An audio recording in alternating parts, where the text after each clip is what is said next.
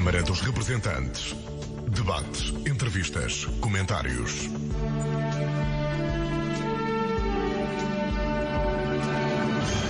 É o primeiro Fórum dos Empresários das Comunidades Portuguesas. No CCB está a jornalista Paula Machado, que desde já saúde. Boa tarde, Paula, e não estás sozinha. Exatamente, Salomé. Um boa tarde para ti, também para todos aqueles que neste momento nos estão a escutar. Antes de começarmos esta nossa conversa com três convidados, deixa-me dizer que neste primeiro fórum dos empresários das comunidades portuguesas está a decorrer na sala Luís de Freitas Branco e em pano de fundo está um espelho de água, mas ao longe vê-se o planetário. Isto tudo em que num dia em que o céu está cinzento e o sol de Lisboa não nos dá este colorido que tanto gostamos. O tempo está frio, mas na sala eh, não se pode dizer o mesmo. Sem ser muito quente, pelo menos é muita atenção dos, da cerca de uma centena de empresários das comunidades portuguesas estão a seguir a apresentação dos programas que estão a ser aqui divulgados pelas instituições e por representantes das instituições portuguesas. A abertura foi feita pelo Ministro dos Negócios Estrangeiros, Luís Amado, que chamou a atenção para a mais-valia que são os empresários das comunidades portuguesas, não só para a internacionalização da economia portuguesa, para que as empresas portuguesas possam dar um salto e ir mais além, mas também como forma de poderem eles próprios investir em Portugal. E agora vou passar a apresentar os nossos convidados de hoje do Câmara dos Representantes. Ivan Roque, Presidente da Federação Eureka, em Bruxelas. Foi distinguido no 10 de junho pelo Presidente da República, Cavaco Silva, com uma comenda pela atividade que tem vindo a desenvolver em em prol da promoção portuguesa em terras belgas. Aurélio Fernandes, presidente da Câmara de Comércio Luso-Canadiana e também cônsul honorário de Portugal em Edmonton, Alberta, Canadá. No outro lado do Atlântico eh, temos connosco o Sandro Gonçalves, é hum, também ele empresário, é o proprietário da firma Euroruber, uma fábrica que comercializa todo o tipo de equipamentos de borracha industrial.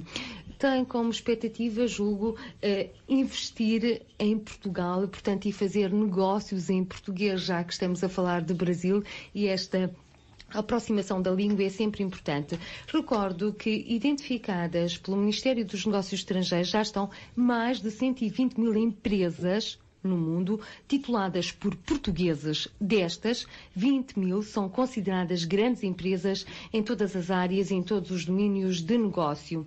E vou começar por Aurélio Fernandes, do Canadá, é presidente da Câmara de Comércio Luso-Canadiana. Uh, Aurélio Fernandes, quantas empresas portuguesas uh, representa esta sua Câmara de Comércio e que expectativas tem para este encontro?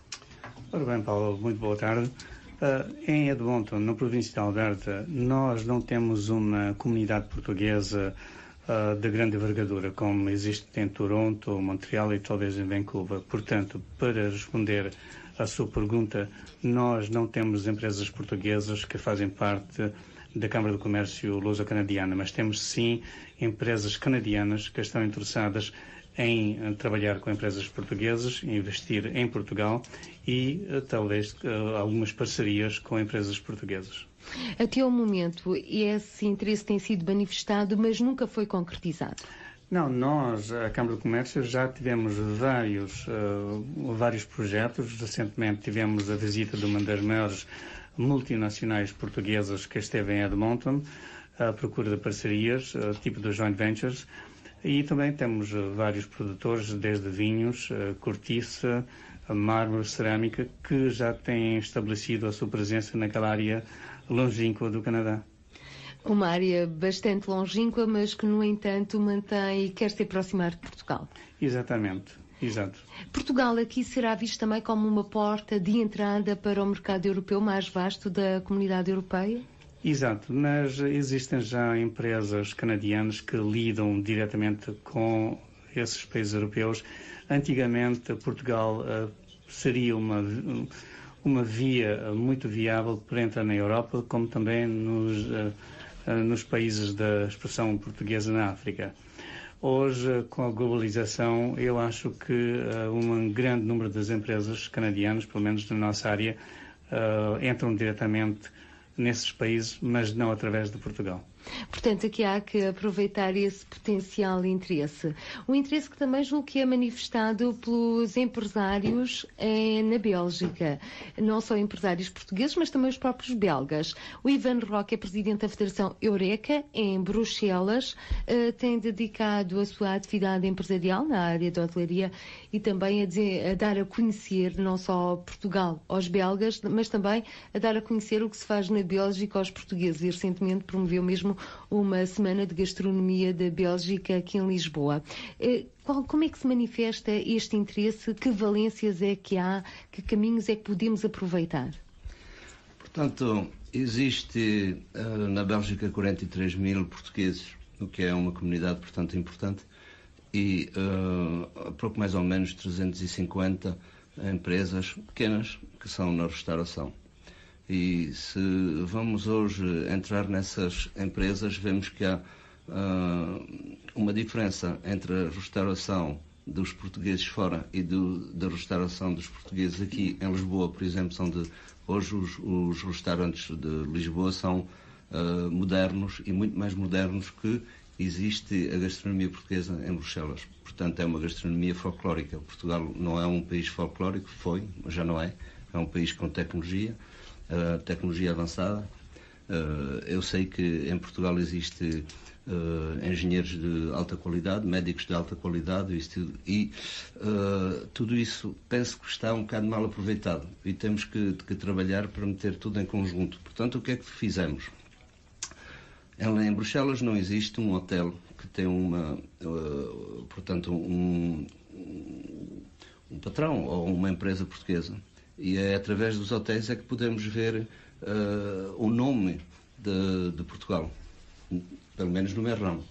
Isso não existe e espero que um dia possa acontecer. E aqui em Portugal também não existe, aliás, há, há escolas, boas escolas de, de, de hotelaria, uh, formações, mas não existe, como aliás na Bélgica também não, uh, um centro de excelência. E aqui pode-se ver que se falou muito de excelência. Nós já viemos aqui, tivemos nas Minas de Lousal, uh, com várias personalidades, também para poder uh, fazer ou colaborar num centro de excelência.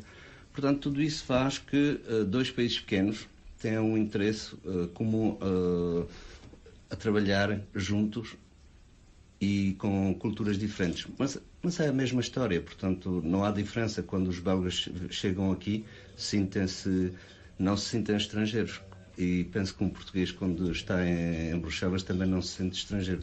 Portanto, é importante.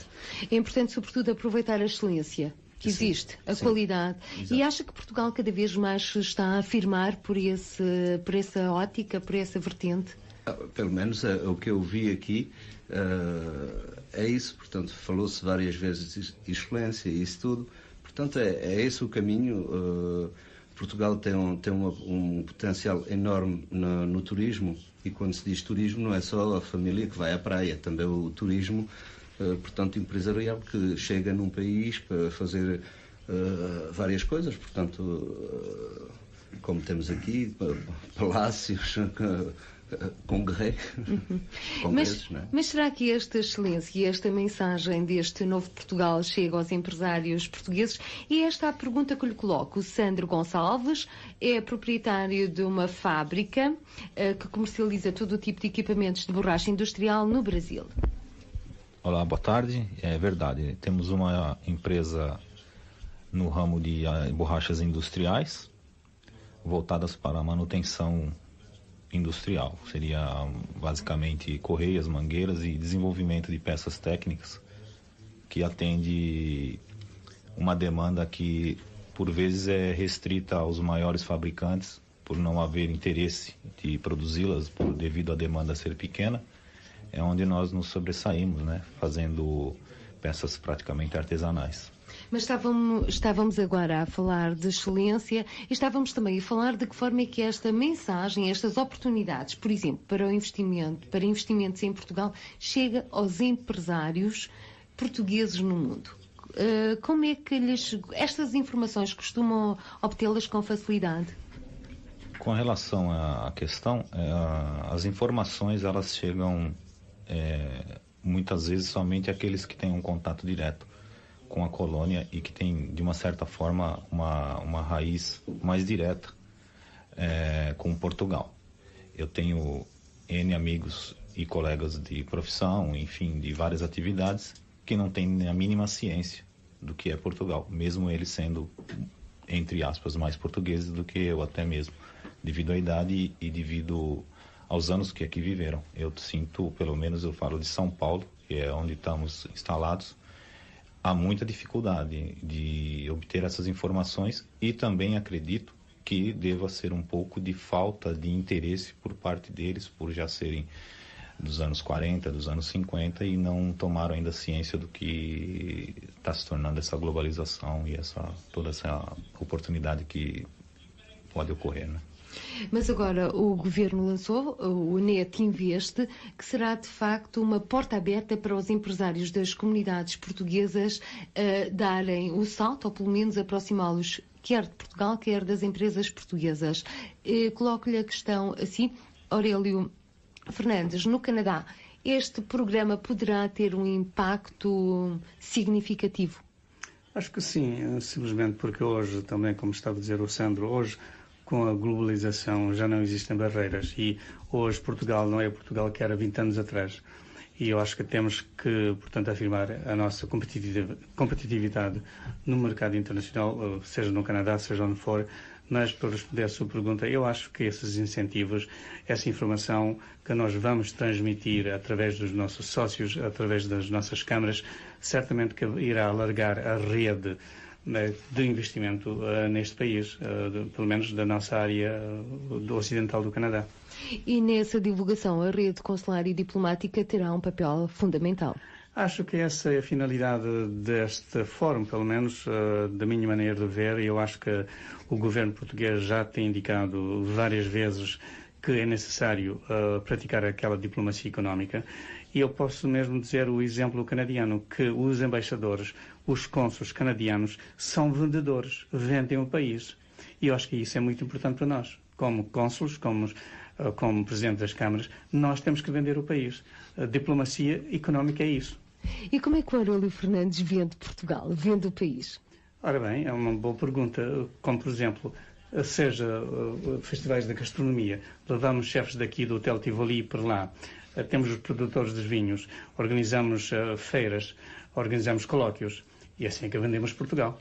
É a imagem que nós vendemos. É o marketing da imagem. E temos arranjado com compradores?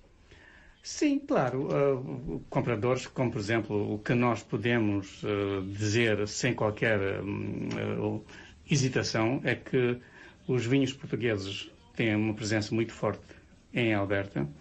A cerâmica tem muito materiais de construção e, como disse alguns momentos atrás, já temos algumas empresas de uma dimensão multinacional que neste momento estão a tentar eh, procurar parcerias eh, com empresas canadianas.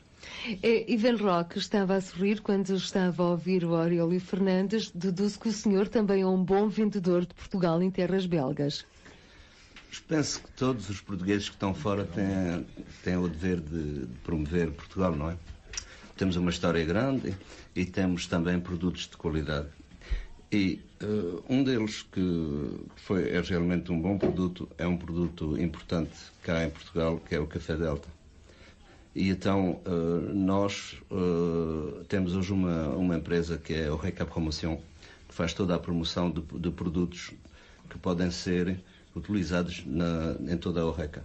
E está o café. Portanto, hoje o café é essa, é essa empresa que faz a promoção do café, o Café Delta, na Bélgica, por exemplo. Está a funcionar bem. Mas o Ivan Rock não se fica só pelos cafés. Não, evidentemente não. Também há outras coisas, mas penso que, para mim, o que é mais importante é a comunidade portuguesa estar realmente integrada na política. Uh, Explico-me. Portanto, a comunidade portuguesa na, na Bélgica é uma comunidade importante, mas não vota. E penso que há um trabalho hoje a fazer, muito importante, um papel a desenvolver, dar a informação a toda essa comunidade de votar. Porque a Bélgica também mudou. Hoje uh, não são os belgas que decidem de, da maneira de orientar a política económica e social do país é também as comunidades que são importantes, importantes na, naquele país, como as italianas, os espanhóis, os marroquinos e isso tudo, uma imigração às vezes complicada também. E a comunidade portuguesa é uma comunidade, portanto, que está bem integrada, que, que está muito bem vista, mas não vota. E então temos que dar essa mensagem uh, também, com, com, como disse o senhor, com, com o embaixador, com, com todos uh, os homens políticos que estão uh, em qualquer país, para poder dar essa informação aos portugueses para irem votar, para, para serem considerados por, pela política, os políticos do país onde estão a residir. Ou seja, quem não vota não conta, se não conta, obviamente, tem muito mais dificuldades em fazer vingar alguns dos seus interesses. Exato, portanto, um deles é a língua. Portanto, nas escolas hoje vê-se que há um, uma. O português uh, está sempre a perder terreno porque os portugueses não votam. E então é difícil de, de pedir a um político de, de, integrar a língua portuguesa quando ele sabe que não, que não há votos, não é? O, um político, o mais interessado para ele, o, o, o fundo de emprego para ele, eh, é, o, é os votos, não as pessoas que votam. Se os portugueses não votam, evidentemente. E eu concordo com ele totalmente. Aliás, nós dependemos, como sabe, Canadá é um país multicultural em que o governo deixa as pessoas manterem a sua cultura e o que o Ivan disse alguns momentos atrás, nós vemos com muita mágoa que os árabes, o, as outras, uh, outras comunidades, têm escolas com a educação integrada na língua própria, como também em inglês. E, e em Alberta nós não temos isso. Em Toronto já, já tivemos e continuam a ter, mas eu só posso falar da minha área, que é Alberta, que não existe. E eu concordo perfeitamente. Eu acho que nós temos que manifestar um pouco mais de uma maneira um pouco forte, a nossa presença na cidade onde vivemos, porque eh, se não temos aquela força política, evidentemente estamos esquecidos e, e temos que integrar. Eh, e quando se refere a Aurélio Fernandes, esse esquecimento é das autoridades portuguesas ou também das autoridades dos países de acolhimento? É sempre fácil uh, pôr, portanto, uh, a, a, lacuna, talvez, eh, talvez apontar os dedos a outras pessoas, mas também os portugueses têm que tomar aquela iniciativa. Não podemos estar sempre à espera que alguém nos venha ajudar. Não pode ser. Precisam também de se ajudar a si próprios claro. para depois uh, claro. terem a ajuda que querem. Ou que é, pretendem? Não, eu acho que é importante, é importante os portugueses também tomar aquela iniciativa e dizer nós queremos ser ouvidos, nós queremos participar na vida política, cívica, mas, e veja, eh, em Edmonton, o voluntariado, o voluntariado é enorme, mas não se vê nenhum português, nem qualquer, qualquer grupo voluntário. É raro. Portanto, portanto é, isso demonstra que a falta de, eh, de, da nossa participação no dia a dia. Mas acha que se, por exemplo, através desta internacionalização da economia portuguesa, se pode galvanizar outros setores, uh, não só da atividade económica, mas também, nomeadamente, na área da cultura, da língua? Bom, isso é um, um, problema um pouco mais complicado, por uma razão muito simples. Como sabe, nas comunidades portuguesas, e eu posso falar como de Edmonton, nós temos aí aproximadamente 10 ou 12 organizações e cada organização tem a parte sociocultural. Nós, da Câmara do Comércio, focamos mais na área empresarial, na área comercial. Portanto, não envolvemos muito na parte sociocultural da comunidade. Portanto, o seu, o seu dono. Agora vou uh, passar aqui a palavra ao Sandro Gonçalves, uh, porque é um jovem e a história dele, a história, ele hoje pode dizer-se, é um português de sucesso, Sandro Gonçalves, depois de andar entre quem lá, entre Brasil e Portugal, Sim, à procura da final da sua vocação estratégica. Inclusive, julgo que chegou a lavar pratos em Portugal, a trabalhar como barman. Bom, mil e um ofícios para chegar a proprietário, patrão, não é? O presidente da Euroruber. Sim, é verdade. É, embora tenha tido várias funções, como você mesmo disse, essas mil e uma, eu nunca perdi no, na minha alma o sentido empreendedor e o sonho. E sempre acreditando que o bem vence o mal, que o certo prevalece sobre o errado eu nunca deixei de lado a, o sonho e as possibilidades de que isso pudesse acontecer. Até o fato de eu estar aqui, como havia dito, é uma coisa que enche de orgulho não só a empresa, como principalmente a minha família, porque eu estou em um lugar periférico de São Paulo, é, faço parte de, de um certo é, valor comercial com a nossa empresa e não, não, não tenho o mínimo de reconhecimento do governo brasileiro, muito pelo contrário, a gente é amassados pelos impostos. E hoje eu tenho condições de dizer que sou eternamente grato à colônia, ao país e que o meu espírito empreendedor está triplicado para retribuir e vir para aqui dar o meu contributo e obviamente buscar novos frutos e quem sabe aumentar cada vez mais as possibilidades de negócio. Uh, como é que nasceu a Euroruber e quais são os seus projetos futuros? A Euroruber efetivamente começou em, nos anos exatos, do, no ano de 2000. O nome Euroruber é, se dá pelo fato de foram as economias que eu obtive aqui em Portugal, como vos disse, trabalhando em subempregos, que não tenho vergonha nenhuma, muito pelo contrário, me dão orgulho. E essas economias é, foi conseguidas na altura da mudança da unificação da moeda, quando Portugal passou a, a vigorar com o euro. E aí o nome veio para Eurohuber porque foi uma maneira simples e singela que encontrei para agradecer a, a, primeiro as oportunidades que os, os portugueses de Portugal me deram e o Huber por ser borracha, acabou virando Euro Hooper. E ela começou em 2000 com as atividades diretamente ligadas aos portugueses amigos. É, são, eram todos e são ainda todos pequeninos, né? empresas, é, bares, restaurantes, vendendo alguma coisa simples para eles e com bastante determinação e correndo atrás de todos esses clientes totalmente ativos, né? Sempre indo para cima deles, não esperando que eles me conhecessem, porque afinal tinha meses.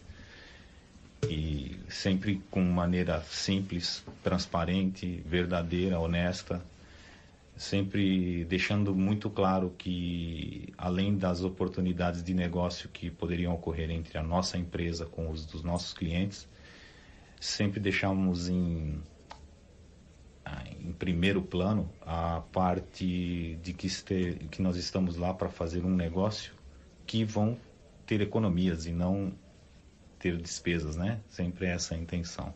No fundo, tendo sempre presente que existe uma dinâmica empresarial na comunidade portuguesa, neste caso no local no, onde está. Sim, tenho 60% dos clientes são da colônia. É, e desses 60%, eu sou cliente deles também. É, é uma coisa curiosa. O mesmo se passa também no Canadá, Aurélio Fernandes. Em que sentido? É, no sentido de que são uns os portugueses no fundo existe, criam uma própria uma dinâmica empresarial própria que depois extravasam também para empresas canadianas, mas que começam portanto inicialmente por negociar entre si, por estabelecer parcerias entre si. Isso acontece uh, nas cidades metropolitanas como Toronto, Montreal e Vancouver, mas como disse no início, Edmonton tem uma população portuguesa que ronda por volta de uns 5 ou 6 mil portugueses, que é muito pequeno. E em termos de empresas, temos aí algumas empresas de panificação, Uh, não temos, diria. Não há mercado, portanto, para não, toda essa dinâmica não, empresarial como acontece aqui no, exato, no Brasil. Exato, não, não existe. A situação na Bélgica, como se processa, Ivan Roque? A situação na Bélgica, portanto, é. Uh, eu não concordo com o que se passa lá. Por exemplo, uh, todo o vinho português que vai para Bruxelas é vendido na comunidade portuguesa. Portanto, não é difícil vender vinho português a portugueses. E é o mercado da saudade, não é? É o mercado da saudade é ainda que prevalece. Portanto, hoje o, o vinho português uh, houve uma grande evolução. Uh, Vê-se que hoje há vinhos, não vou falar de qualidade, porque antigamente também havia qualidade, o que era, não, uh, não, era, não estava adaptado ao, ao gosto, por, por, exemplo, dos belgas. Mas hoje uh, tudo isso mudou. e vê-se, evidentemente, os produtos portugueses nos restaurantes belgas, nos restaurantes asiáticos, nos restaurantes. Não importa, não, não, não há diferença, não há identidade. Vinho é vinho, há vinho de qualidade e esse vinho vem de um país, vem de um país Portugal, com, com às vezes difícil de, de, já dizer as castas Turiga Nacional e, uh, é, é, difícil para uma pessoa não é não, não é, acessível não é, não é de fácil sim, leitura não, é, mas, mas eu, acho, eu acho que é importante Portanto, o que disse o Ruben é que hoje nós especialmente na Alberta nós não lidamos com o produto da saudade. Nós lidamos mais com o público em geral e portanto eu acho que isso é importante para a nossa imagem e quando falou como é que nós estamos a vender Portugal. É assim, que nós não vendemos o produto, como disse Ruben, nas comunidades. É mais aos restaurantes quando nós fazemos os festivais de gastronomia, são em hotéis de 5 estrelas. E, portanto, levamos um chefe daqui, os produtores de vinhos nos acompanham durante o festival, promovem os seus vinhos, e eu acho que essa é a imagem que nós queremos uh, dar ao público em geral. Portanto, já deram um passo em frente. Já, já há muitos anos, há mais de cinco anos. No Brasil ainda se processa muito o mercado da saudade. É um mercado de afetos, é importante, mas depois para o crescimento próprio empresarial já não é tão bom, já não é tão positivo, Sandro. É, se nós usarmos a parte gastronômica, o Brasil ele há muitos restaurantes portugueses, né? E esse mercado da saudade, eu penso que o Brasil ele ele está ele está um pouco diferente da, do que se passa na Bélgica. Eu não conheço a Bélgica, mas estou tomando ciência disso agora. O Brasil, por ter uma miscigenação muito grande, muito grande, qualquer assunto que se trata da, com relação às colônias, ela é diluída de maneira acentuada, porque lá não há só portugueses e, e há todas as outras raças e acaba acaba sendo um pouco mais disperso sobre o assunto, não dá para se focar numa coisa que, se bem que Portugal é ainda a maior colônia na cidade de São Paulo, e, e eu por fazer parte ser português e conviver com isso, eu percebo que não se tem muita venda de Portugal, como os meus colegas aqui disseram, para as colônias que não sejam as portuguesas, infelizmente mas é, dentro do possível a gente acaba, pelo menos no que diz respeito à parte ética, e a gente procura sempre levar Portugal é, da melhor maneira possível, através da conduta, através da, da língua, através do respeito. E acho que essa é a melhor mercadoria que Portugal tem, que é a parte da alma, do respeito, da honestidade. E essa é a parte que eu acho que Portugal está sempre vendendo, sempre espalhando no mundo através dos seus das suas principais itens de prateleira que somos nós os portugueses e acho que isso é o que é mais importante. Falando agora de casos concretos, parcerias. Uh, por exemplo, Sandro Gonçalves uh, já pensou em fazer uma parceria, por exemplo, com empresários do Canadá, da Bélgica, no, no âmbito da sua empresa, no âmbito dos seus produtos? Já começaram a estabelecer alguns contactos nesse sentido, neste caso para si, Sandro Gonçalves? Olha, como sempre falo, é a sinceridade e a verdade tem que prevalecer sempre. Se eu disser que eu pensei especificamente desta maneira, eu estaria mentindo. Eu não pensei. Primeiro porque eu tenho muita dificuldade com outra língua, muita dificuldade. É, eu tinha duas escolhas.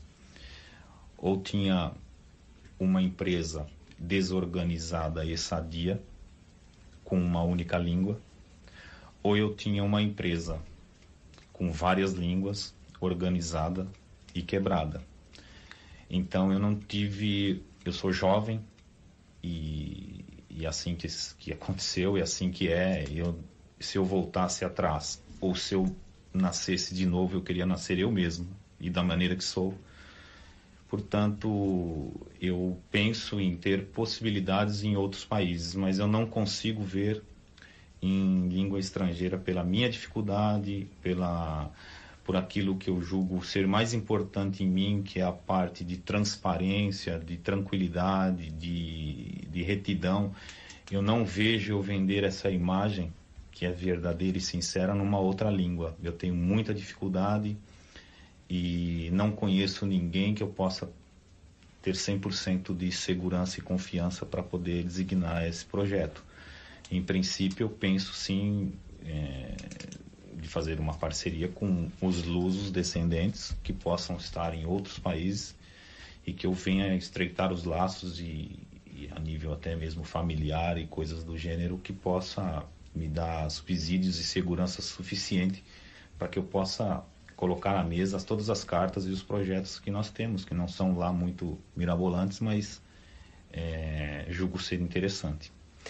Aurélio Fernandes, parcerias, já podemos falar de negócios? Claro, eu acho que sim, porque este também foi uma plataforma para nós conhecermos uns aos outros, uh, as áreas em que eles estão envolvidas e certamente levar a mensagem que existe muito mais do, que, um, do que vimos hoje nesta sala. Portanto, há empresários em todos os ramos da indústria, seja agroalimentar ou, ou indústria de, uh, de componentes, e, portanto, são esses, esses cartões de visita que nós levamos e vamos.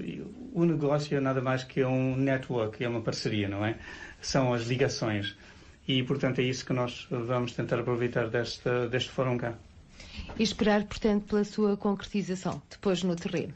Sim, bom, isso a concretização também tudo depende depois da sinergia que existe entre, uh, entre ambos os, ambas as partes, não é?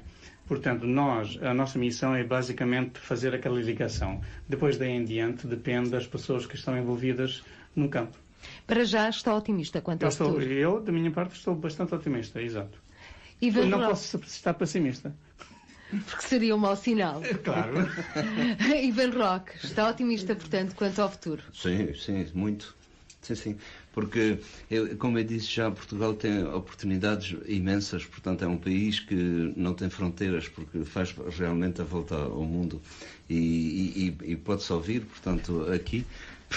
É, é, é, verdade que no Brasil, portanto, o Brasil, que é um país. Aliás, eh, penso que todos os portugueses são um bocado brasileiros, ou os brasileiros são um bocado portugueses, não sei, mas penso que é assim. E é verdade que tem uma oportunidade muito grande. E Portugal, sobretudo Portugal, porque Portugal, para poder entrar na Europa, tem falta de ajuda. E a ajuda, porque não, não seria essa justamente do Brasil, que é uma potência uh, mundial, que vai ser, penso eu, eh, faz, vai fazer parte do, dos, dos maiores, não é? Dos cinco maiores, penso eu. Mas, bom, não do dizer. BRIC, exatamente. Do BRIC, exato, sim. E então, automaticamente, é, é um, um trampolim para, para a Europa. Portugal sozinho entrar na Europa pode entrar com certas tecnologias e isso tudo, mas ouvir também sapatos e isso tudo e ok, sei que temos uma indústria de sapatos e sei que temos dois pés e que somos muitos no mundo inteiro. E que somos os melhores mas, em termos de calçado. E que somos os melhores, é verdade, mas, mas é, é, uma, é difícil porque é calçado e o calçado aí tem que ser outra vez no turismo e o que hoje estão, está a desenvolver em Portugal é o fashion vê-se muito fashion. Uh, é um novo design, é? novo design, há muitas, muitas coisas que se faz, uh, pessoas que vêm do estrangeiro aqui para ver isso e isso tudo, assistir a isso, e é isso que faz a Portugal Moda. não, uh, isso é outra coisa, não se fala de calçado, calçado não tem nenhum interesse, mas o que dá é justamente essa a imagem, a imagem, a imagem é. que temos que promover. A imagem é importante, é fundamental. Ah, é o marketing. É e agora, o Ivan Roque já fez aí algum negócio à luz dessa imagem, aproveitando o facto de em português nos entendermos? Quer dizer, eh, nós temos um projeto, como disse, que é muito importante, eh, é com, com os cafés Delta, a introduzir uh, os cafés e a promover o café na Bélgica. E como a, a Bélgica e Bruxelas é a capital da Europa, se conseguimos introduzir o café em Bruxelas e na Bélgica, automaticamente uh, é uma expansão para o, para o resto da, da, Europa, porque todas as empresas em Bruxelas têm, são ramificações. Portanto, está o Grupo Flow, que, que é um grande grupo francês. Se conseguimos entrar uh, em Bruxelas, automaticamente temos uma facilidade de entrar nos outros países. Eu vou levar o Ivan para o Canadá com os chefes deles para ter um festival de gastronomia. Vai levá-lo para o Canadá então para fazer uma, uma, gastronomia belga. E o Sandro não vai levar também a belgas? Ninguém come borracha no Canadá. Ninguém come borracha não, mas, no Canadá, mas, há, mas, pode levar. Mas há muita carne e fomos solicitados também para a Embaixada de, de, do Brasil para, para visitar, portanto, os matadores eh, no Brasil hum. e dar uma labelização desses matadores. Portanto, porque dessa forma essa carne pode ser uh, introduzida na Europa. É verdade que está uma crise e hoje eu, tanto como Presidente, devia dizer que temos que comprar perto das nossas casas, mas não é 100% uh, verdade também. Temos que continuar no mercado internacional. Mas há várias oportunidades. Mas não deixa de ser deprimente agora para o Sandro Gonçalves de vos ouvir fazer essas trocas de negócio. Ele está no setor da borracha. Portanto, digamos que não é assim muito, muito apelativo. Mas vai insistir, não vai? Aproveitando estas parcerias. Aproveitando a, a, parceria, a oportunidade que me foi dada e, e mostrando o quanto é sincero, autêntico e verdadeiro esse bate-papo, se o senhor me permitir, eu poderia fazê-lo em off, mas vou fazê-lo aqui para verificar que a gente aqui não estamos aqui a esconder nada. Eu tenho uma segunda questão, não em ordem de importância, mas é assim, eu vim aqui por conta da Eurohuber. E é graças a ela que eu estou aqui. Mas eu tenho uma segunda questão que eu tentei contato com a Delta no Brasil. Me parecem que tem três no norte do país. Pernambuco uhum. ou coisas do gênero. Deixei o meu contato por uma possível franquia, franchise, para tomar ciência de como era possível.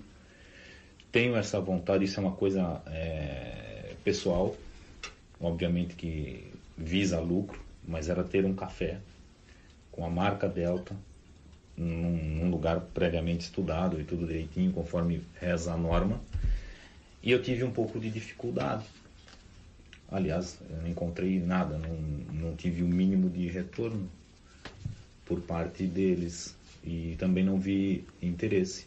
E talvez isso digo no Brasil e deixar muito claro que eu tenho absoluta certeza e plena convicção que não se trata da Delta. Eu estou falando de que o contato que for posto no Brasil que deu esta maneira de eu chegar até eles. Né? Ah, mas eu posso, posso dar o seu contacto até uh, ao senhor Rui Nabeiro. Portanto, já estão os dois a fazer aqui não, negócio. Não, não, acha que existe a possibilidade? Não tenho, eu recebi, portanto, o mandato de promover o café em Bruxelas, não, no, no Brasil, não é? Mas Sim. com certeza que posso dizer que estivemos juntos e que você tem um interesse. Isso depois são eles a, a Portanto, dizer... são os negócios aqui em direto, aqui no Câmara dos Representantes. Quase a terminar este programa para todo mundo.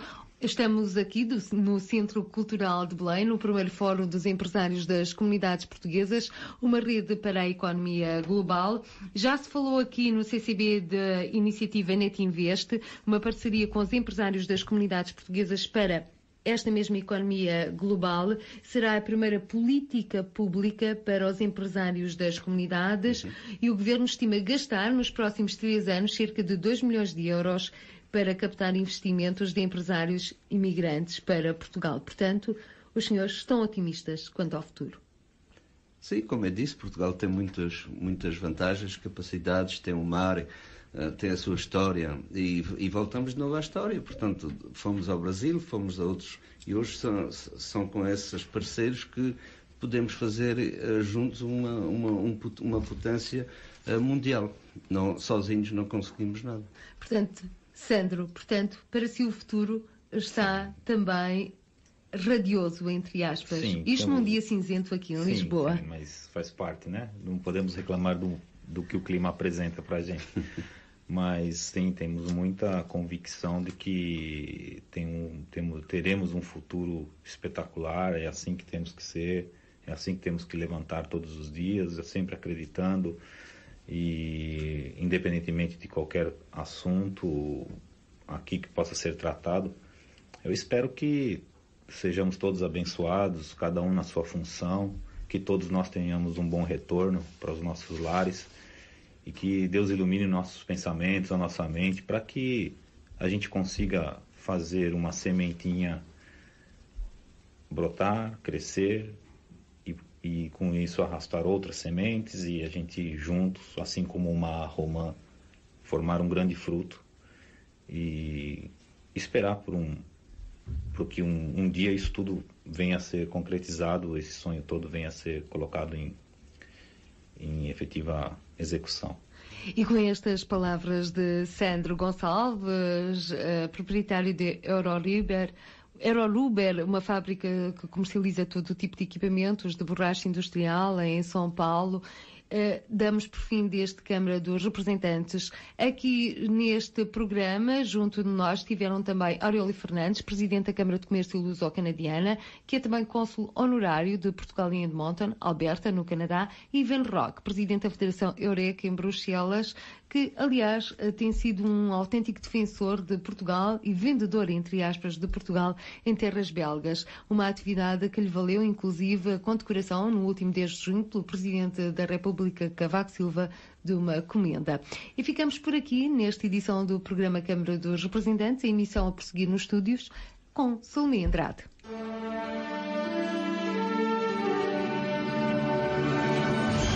Câmara dos Representantes. Debates, entrevistas, comentários.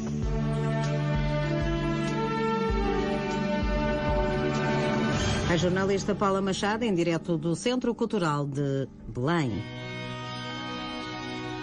E vamos a caminho das duas da tarde, altura em que vamos atualizar a informação deste sábado, dia 29 de novembro do ano de 2008.